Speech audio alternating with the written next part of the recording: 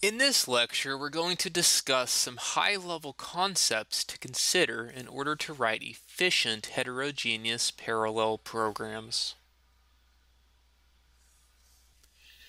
This image shows the world's second most powerful supercomputer, which is located at Oak Ridge National Lab.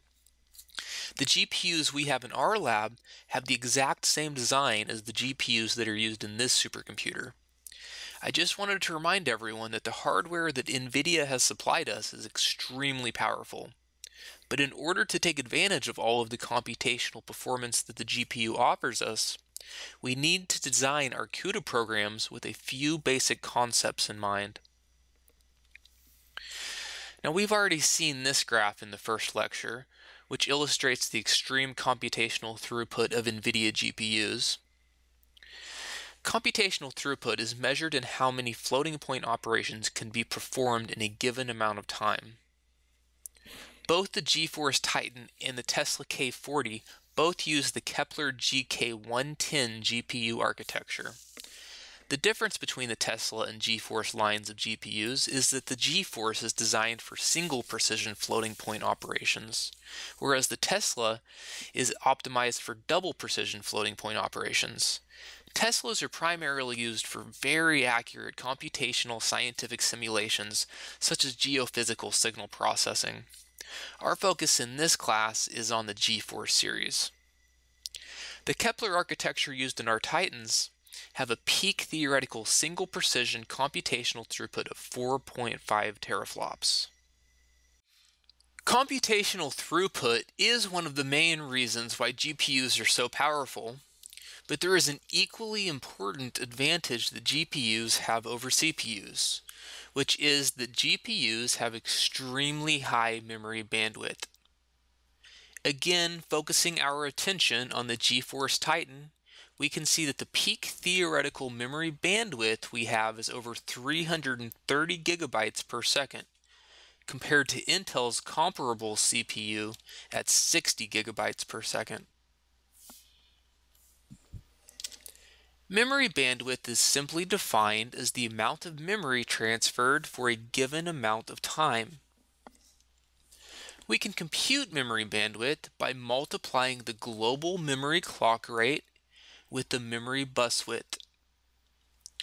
For Titan's Kepler GK110 GPU architecture, we have a memory clock rate of 3.5 gigahertz, which is double clocked so we get an effective memory clock rate of 7 gigahertz. And we have a memory bus width of 384 bits, which is equivalent to 48 bytes. Taking the product of these two quantities, we see that our theoretical memory bandwidth is 336 gigabytes per second. We know that the Titan GPU can perform up to 4.5 teraflops. But all of this computational power is wasted if the GPU is simply waiting on the system to retrieve the data that it needs to operate on. Let's now introduce a concept called arithmetic intensity, which is defined as the amount of computation performed per amount of memory accessed. To increase performance of our program, we want to maximize arithmetic intensity. This can be done in two ways. We can increase the numerator by maximizing the amount of operations done per thread, or we can decrease the denominator by minimizing the amount of time spent on memory retrieved per thread. This week, we're going to focus our attention on the second strategy.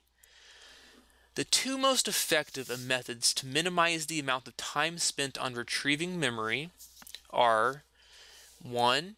Moving frequently used data to fast memory, or 2. Coalescing global memory accesses. These concepts will be explored further in the next lab project. Although we won't go into any detail about memory bound and compute bound problems here, I wanted to introduce these concepts to show how they are related to arithmetic intensity. Most problems tend to be memory bound, which means that the maximum computational throughput has not been reached due to memory access latency issues. Once the maximum computational throughput has been saturated for a specific problem, it is then termed as a compute-bound problem.